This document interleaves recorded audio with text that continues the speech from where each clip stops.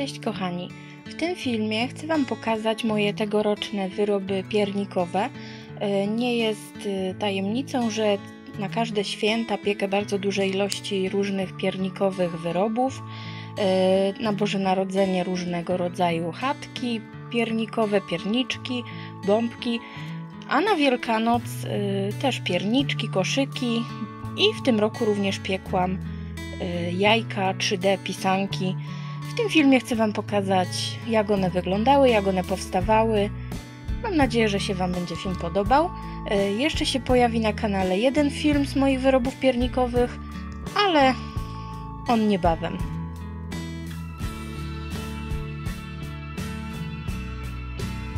Jeśli jesteście zainteresowani przepisem na ciasto piernikowe, z którego korzystam, pod filmem dam Wam link do filmu, w którym pokazuję, jak to ciasto wykonać.